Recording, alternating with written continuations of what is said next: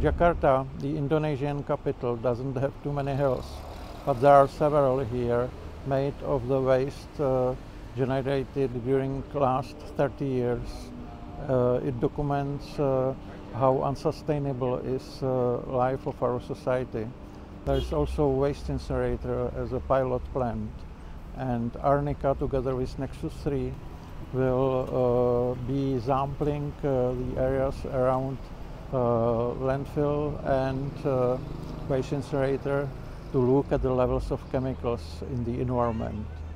Uh, the current society uh, produces a lot of waste, including huge piles of plastics and therefore it is important to stop this flood of the plastics and therefore it is important to get legally binding instruments like a plastic treaty which started to be negotiated in Uruguay last week.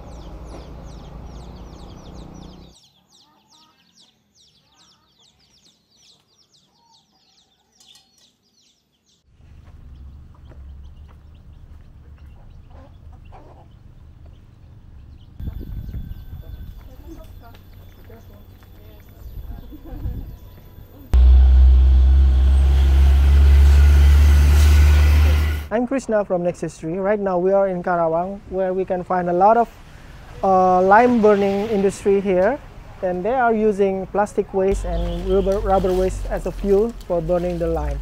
And previously we also already took the samples of eggs, soil and ash and we and we working together with Arnika to check the dioxins on that samples and we found that the high concentration of dioxins when we have a lot of help from Arnika to check the dioxins on our samples because in Indonesia we don't we, we don't have any labs that capable to check the dioxin in the samples because of lack of laboratorium capacity.